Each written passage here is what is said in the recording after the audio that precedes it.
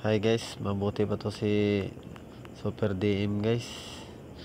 Bigyan na yung pansin yung bigas guys. Mabuti pa yung si Makata ng Bayan guys. Binigyan pansin ng taas ng presyo bigas guys. Tingnan yung presyo bigas guys. Grabe guys.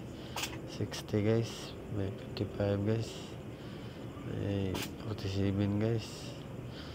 At saka karamihan guys. May 60 pataas guys. At meron pa si tinta guys.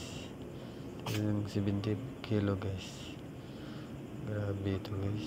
Sobra ng mahal ngayon bigas guys si tinta na guys. Tingnan nyo guys. Hindi pa to ano guys abot pa to ng isang daan na yung kilo ng bigas guys